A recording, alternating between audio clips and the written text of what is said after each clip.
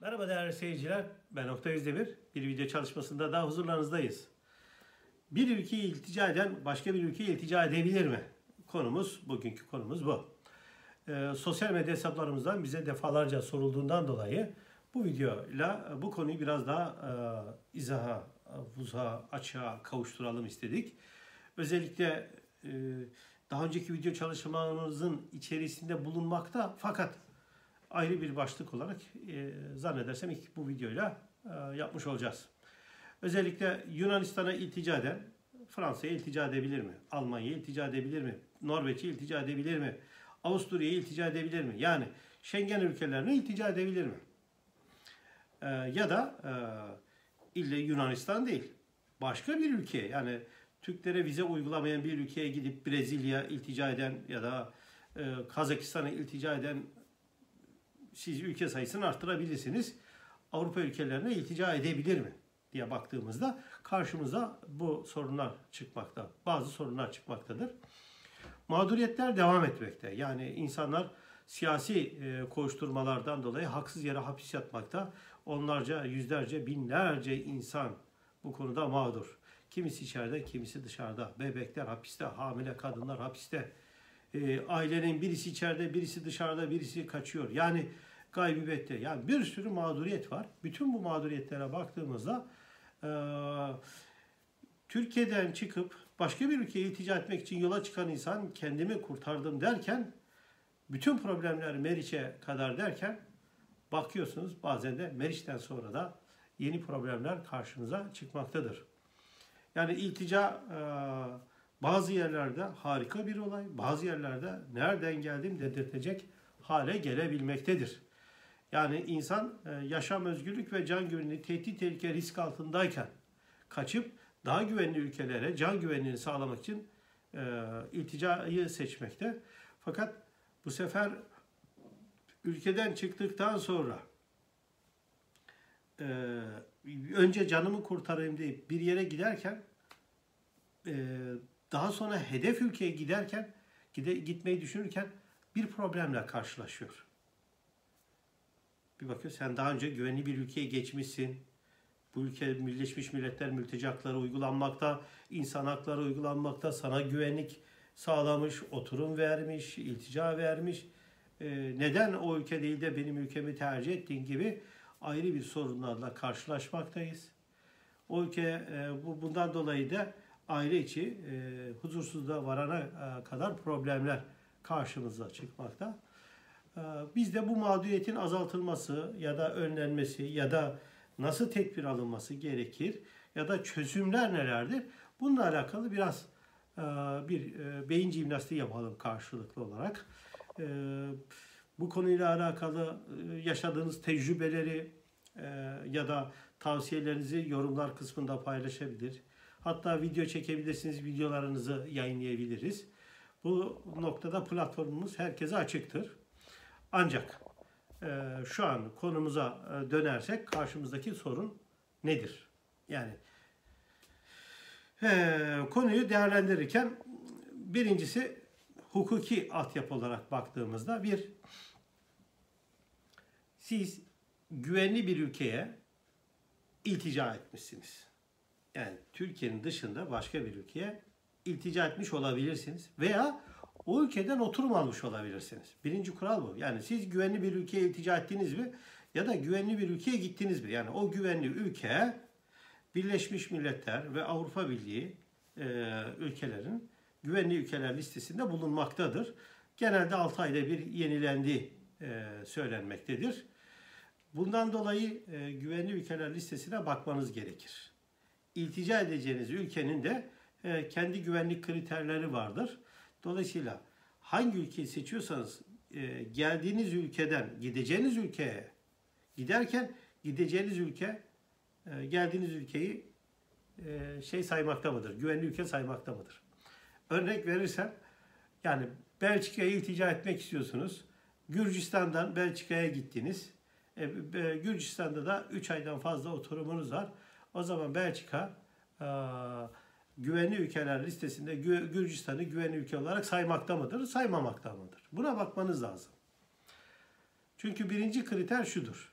Bir ülkede 3 aydan fazla oturumunuz varsa o ülke güvenli ülkedir. Bir ülkede süresiz oturumunuz varsa o ülke güvenli ülkedir. Bir ülkede vatandaşlığınız varsa o ülke güvenli ülkedir.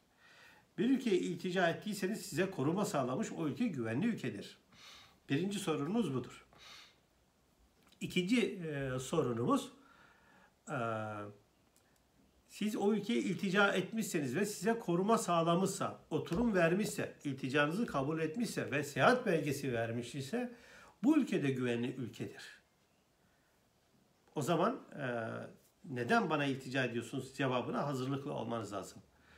Üçüncüsü Avrupa Birliği'ne üye devletlere iltica ettiyseniz yani örneğin Yunanistan'a iltica ettiyseniz e, ve Yunanistan'da size oturum vermiş ise ve seyahat belgesinde vermiş ise bu ülkede siz, e, güvenli ülkedir. Yani Avrupa Birliği ile müzakere eden ya da üye de bir devlete siz iltica ettiyseniz o ülke güvenli ülkedir. Örneğin e, Almanya'ya iltica ettiniz. E, dediniz ki bir an iltica prosedürü çok ağır. Ben buradan işte e, alıp ilticamı diğer Schengen ülkesine örneğin e, Hollanda'ya iltica edebilir miyim diyebilirsiniz.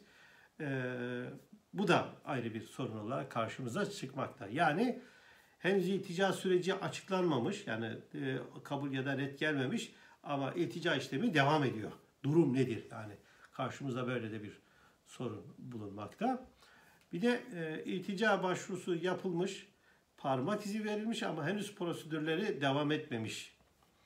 Bu durumda iltica nedir? Yani bu videomuzda bunlara değinmeye çalışacağız.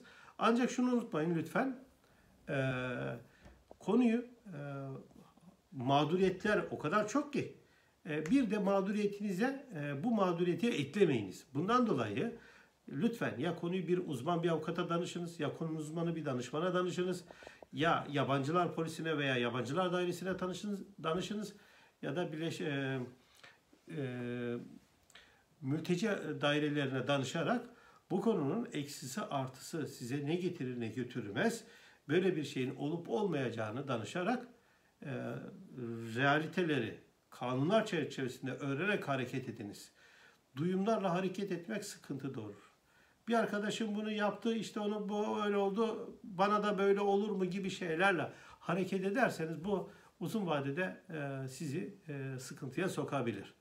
Duyumlardan ziyade e, hukuki alanda kalmak her zaman yararlı olacaktır. Peki durum nedir e, baktığımızda? E, önce Yunanistan e, konusundan hareket ederek e, açıklamalarda bulunacağım. Çünkü e, şu an e, itibariyle baktığımızda e, insanlar e, ağırlıklı olarak Yunanistan üzerinden Avrupa ülkelerine geçmekte ve Yunanistan'da da ciddi manada e, başvuru e, yapıp kabul alan ve hayatını devam eden insanlar bulunduğu gibi artık e, Yunanistan'ı geçiş olarak kullanıp başka ülkelere giden insanlar da bulunmaktadır.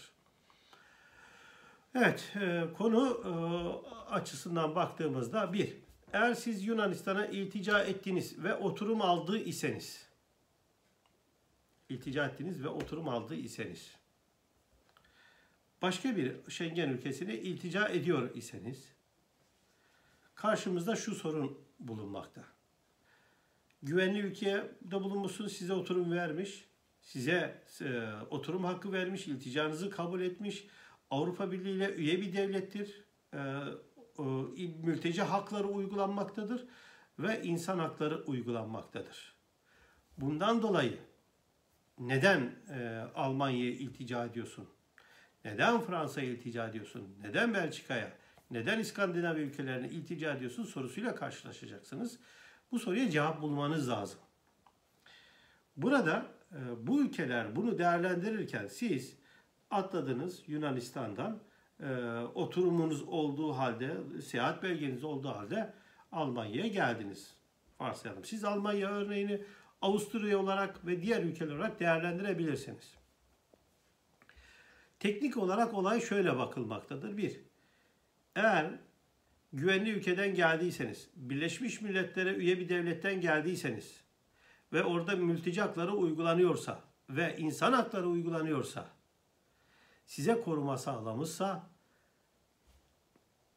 diğer Schengen ülkesine yapacağınız e, siyasi kovuşturma ya da iltica sayılmayacaktır.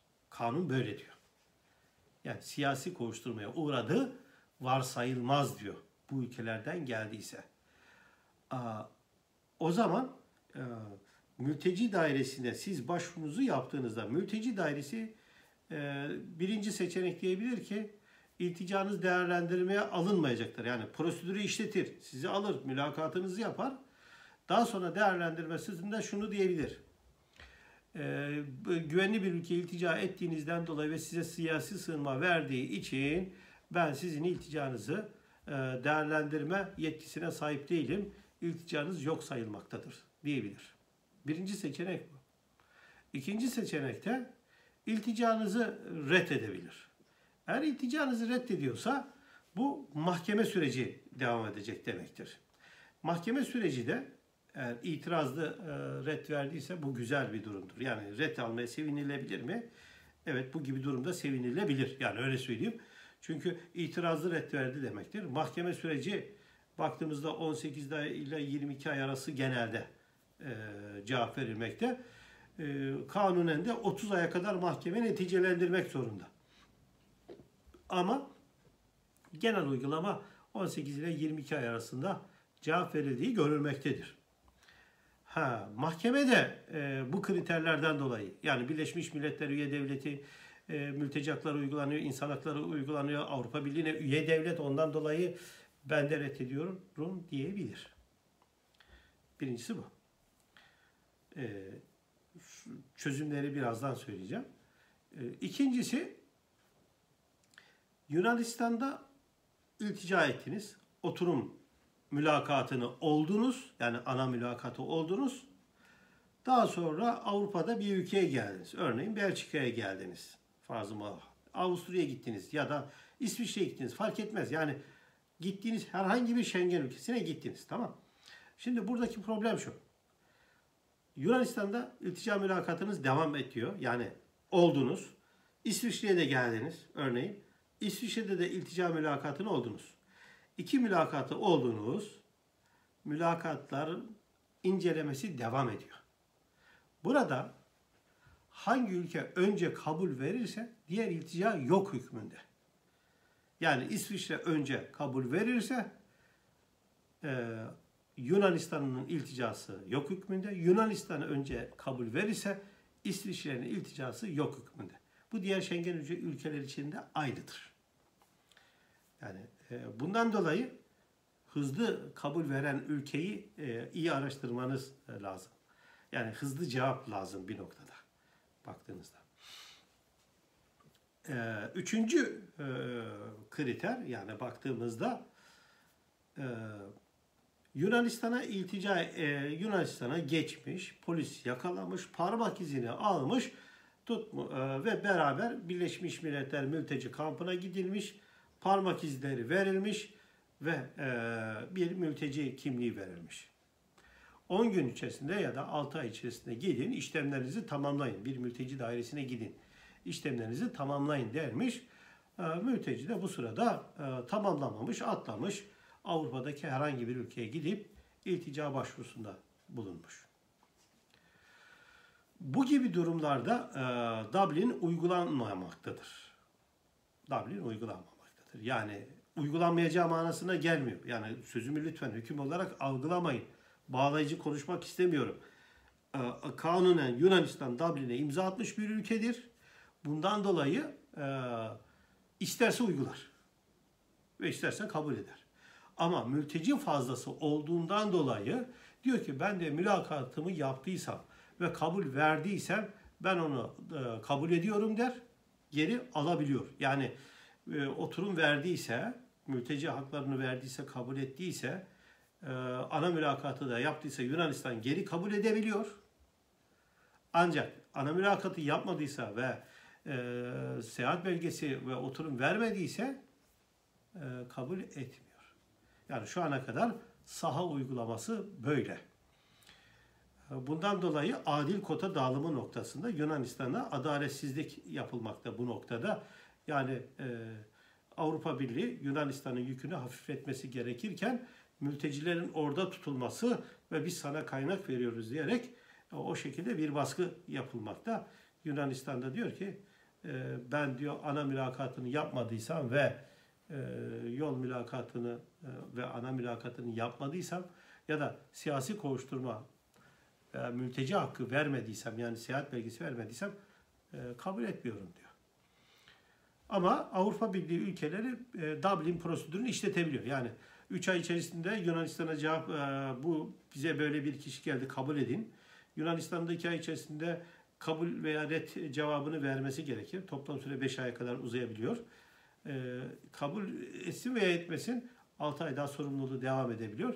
Kesin Dublin 11 ay sonra düşüyor. Bunu Dublin videolarımızda izleyiniz. Yani burada teferruata boğmak istemiyorum. Burada ana fikrimiz Yunanistan'a iltica ettikten sonraki işlem nedir? E, baktığınızda. Bu üç şart. Yani e, pasaport vermiş olabilir Yunanistan size. Yani seyahat belgesi kabul etmiş olabilir. İki, iltica olmuş, e, ana mülakatı, oturum mülakatını olmuş olabilirsiniz. Üç, bu ikisinden herhangi birisi olmamış ama işlemleriniz devam ediyor olabilir. Ve geldiniz e, Avrupa ülkelerine iltica ettiğiniz ne olacak? Yani durum. Kanunen, e, kanun diyor ki yani e, bir, e, Avrupa Birliği'ne üye devlettir. Birleşmiş Milletler mülteci haklarını Yunanistan uygulamaktadır. insan hakları uygulamaktadır ve güvenli ülkedir. Ondan dolayı bu ülkeden gelenlere siyasi kovuşturmaya uğradığı varsayılmaz diyor. Ve iltica ettiğinizde ilticanız iki seçenekte. Ya yok sayılacak ya mahkeme e, re, mülteci ve göçmenler dairesi red verecek, olay mahkemeye intikal edecek. Bu kriterler diğer ülkeler için de aynı değerli arkadaşlar. Yani Brezilya'ya iltica etmiş olsanız da orası da Avrupa Birliği'ne üye değil ama Birleşmiş Milletler mülteci uygulanıyor. İnsan hakları uygulanıyor. Güvenli ülke. Aynı şey Kazakistan için de, Özbekistan için de, diğer ülkeler için de geçerli. Gürcistan için de, Ukrayna için de geçerli yani. O ülkeler e, güvenli bir ülke. E, Birleşmiş Milletler Mülteci Hakları Sözleşmesi'ne imza atmış, uygulanıyor. Ve Avrupa İnsan Hakları Sözleşmesi'ne uygulanıyor ve güvenli bir ülke bir ülke 3 aydan fazla size otur veriyorsa o ülke güvenli ülkedir. Böyle bakılmaktadır. Bundan dolayı bu ülkelerden e, gidip e, gelip Avrupa'da herhangi bir ülkeye iltica ettiğinizde yani Belçika'ya, Hollanda'ya, Avusturya, Fransa'ya, Norveç'e, İsveç'e yani fark etmez. E, bu ülkelere iltica ettiğinizde şöyle bir sorun var. İltica dairesi sizin ilticanızı alır bir, e, mülakatlarınızı yapar. İki, yapmayabilirdi ama genelde yapıyorlar. Ondan sonra incelemeye tabi tutar.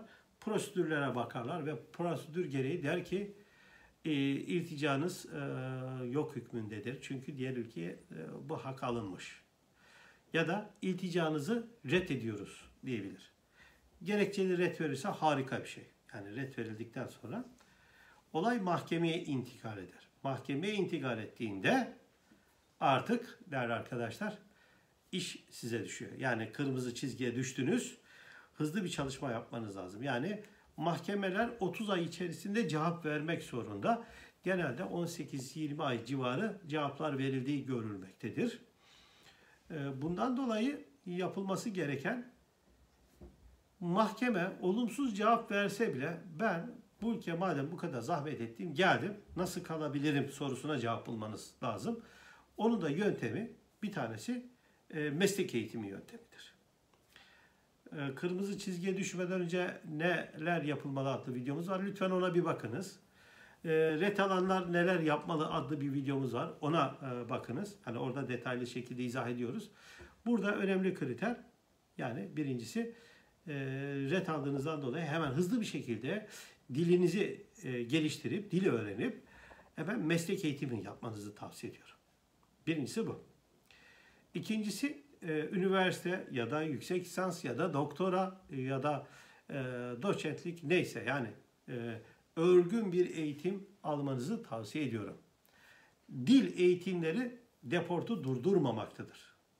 Dil eğitimi kesinlikle deportu durdurmamakta.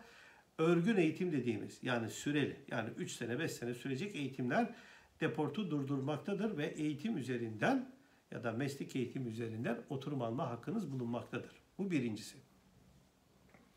İkincisi e, kimi ülkeler çalışma üzerinden de oturum vermektedir. Yani e, ilticanız devam ederken çalışabiliyorsunuz. İşte bir sene çalıştıktan sonra size e, oturum verebilirler. İkincisi. Üçüncüsü e, eğer e, bir ülkede yani diyelim ki Yunanistan'da seyahat belgesini aldınız. O zaman e, iltica etmeden de çalışma müsaadesi alarak o ülkede kalma hakkınız var yani. Örnekleri bulunmaktadır. Örneğin bir arkadaşım e, Almanya e, geldi. Yunanistan'da oturum almıştı. Almanya'ya geldi. Evet süreç biraz uzun oldu ama e, neticede bir e, sağlık firmasında hasta bakıcı olarak e, sözleşmesini yaptı. Hasta bakıcı e, firmasının sahibi beraber e, arkadaşımla e, yabancılar dairesine gitti. Bu insana benim ihtiyacım var. E, ben bir haftada denedim bunu. Hastalarım çok memnun. Bundan dolayı bu kişiye oturum verilmesini rica ediyorum dedi. Ve bu arkadaşımız Almanya'da şu an çalışma müsaadesini aldı. Yunanistan'da oturum olduğu için henüz oturum almadı.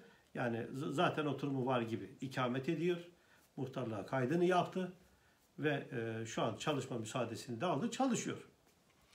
Yine bir başka arkadaşım e, Yunanistan'da oturum a, almıştı. Seyahat belgesini de almıştı. Mesela Almanya e, gidip e, iltica etti ve Almanya şu an e, ilticasını reddetti. Mahkeme süreci devam etmekte. Böyle bir durumda e, karşımızda e, bulunmaktadır. Evet değerli arkadaşlar e, aynı kriterler diğer yani ülkeler içinde geçerlidir. Örneğin e, yani Latin Amerika ülkelerinden Schengen ülkelerine gelenler için de geçerli. Ya da e, Asya ülkelerinden Schengen ülkelerine gelenler için de geçerli. Aynı kriter. Yani Birleşmiş Milletler e, mülteci sözleşmeleri uygulanıyorsa, insan hakları uygulanıyorsa, güvenli bir ülke ise bu ülkeden gelenlerin ilticası maalesef kabul edilmemekte, reddedilmektedir. Bu e, neticede e, bir uygulama. Yani e, yok sayabilirler de, e, red verebilirler de. Bunu kestirmek çok zor. Çünkü yetki raportörde, mülakatı yapan kişi de bu kişinin nasıl davranacağını kestiremiyoruz. Bunun için riskinizi e, doğru e, ayarlayıp e, yola çıkmanız daha sağlıklı olacaktır. Neticede e, aileleri mağdur etmek doğru değildir değerli arkadaşlar. Yani bu bir süreç. E, yani kamplarda kalınıyor, yurtlarda kalınıyor. E, bazı yerler çok güzel, bazı yerler çok kötü. Yani bunları e, hesaba katarak hareket etmeniz sağlıklı olacaktır. E, bir konuda e, Amerika ile alakalı söylersek, Amerika vizesi olanlar herhangi bir Kanada ya da Schengen ülkesine iltica ettiğinde neden Amerika değil de bu ülkeye iltica ettiğiniz diye sorabiliyorlar. Burada yani hedef ülkem benim burasıydı gibi olayı yönetmek lazım. Ama Amerika'da eğer eşiniz ya da eşiniz iltica ettiyse, siz de eşiniz üzerinden oturumda duruyorsanız, geçici oturumda duruyorsanız, henüz iltica etmediyseniz, e, ilticanızı e, ister çekin ister çekmeyin fark etmez. Ya yani İngiltere'ye gidip iltica ederseniz ya da Avrupa ülkelerinden herhangi birisine iltica ederseniz e, sizi e, Amerika'ya geri deport edebilirler. Yani güvenli ülke olduğundan dolayı. Bunları e, yani yapacağınız her bir macera sizin hayatınızı, aile düzeninizi sıkıntıya sokacaktır. Bunları planlayarak hareket ediniz. Ben saha uygulamalarını ve kanunlar çerçevesinde olayları anlatmaya çalıştım. Eksik anlatımlarım olabilir. Kusura bakmayınız. Lütfen bir avukata mutlaka danışınız. Evet, e, yararlı bulduysanız paylaşmayı, beğenmeyi, abone olmayı ihmal etmeyiniz. E, değerli arkadaşlar, tecrübelerinizi e, ve yaşadıklarınızı ister video çekerek, isterse yorumlarda bizimle paylaşarak paylaşabilirsiniz. E, mağduriyetler devam etmekte. E, karınca misali katkı sağlamak isteyenler platformumuz açıktır. Bizi dinlediğinizden dolayı teşekkür ederiz. Bir video çalışmamızda daha görüşmek üzere. Sağlıcakla kalınız. İyi günler efendim.